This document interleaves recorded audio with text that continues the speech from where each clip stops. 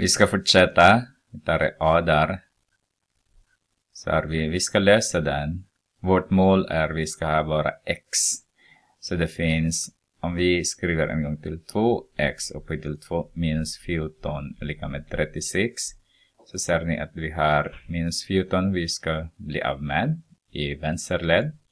Och vi har också 2. Så vi börjar med minus 14, alltså vi adderar båda led med 14. Så har vi 2x upphöjt till 2 är lika med 50 där då. Och sen, vi ser till att 2 blir 1, så har vi, dividerar vi med 2, båda led. Så har vi x upphöjt till 2 är lika med 25. Så då vet vi redan att vi kan lösa den. Genom att ta roten ur till båda så har vi x är lika med eh, positiv negativ 5.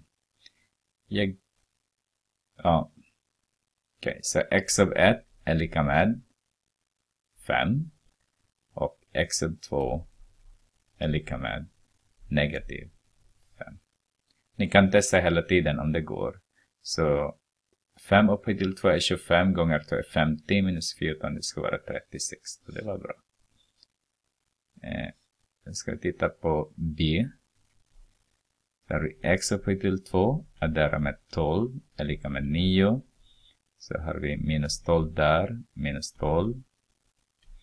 Här har vi x upphöjt till 2 är lika med negativ 3. Och då tar vi roten ur av båda.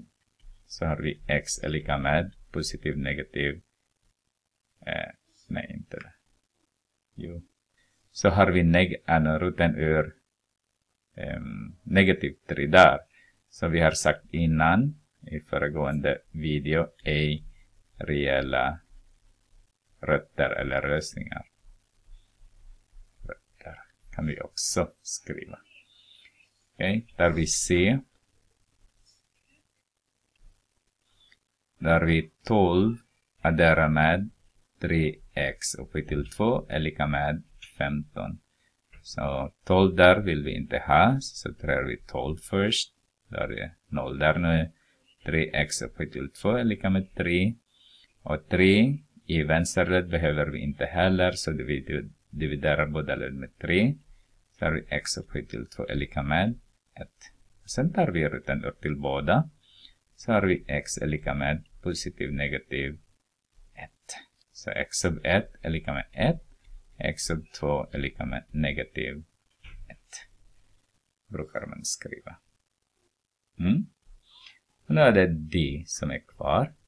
Där är 2, så tar jag med x upphöjt till 2 är lika med 26. Det finns två sätt ni kan göra på det här sättet. Men eh, eh, som sagt, ja, det finns två sätt.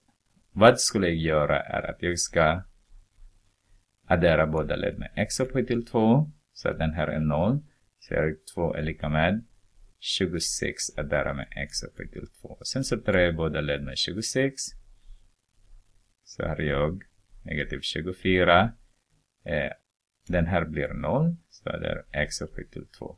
Sen tar jag roten ur. Roten ur. Så ser jag att jag har negativ där. Ej reella rötter. Det, ett annat sätt är att 2 minus x upphöjt till 2 är lika med 26. Om jag skulle subtrahera båda led med, med 2 så har jag negativ x upphöjt till 2 är lika med 24. Sen har jag negativ där, så jag måste antingen multiplicera jag båda led med negativ. Kanske det är bättre att göra det. Negativ där, så har jag positiv x upphöjt till 2 är lika med negativ 24 istället. Så vet vi redan att det är ej gäller rötter där.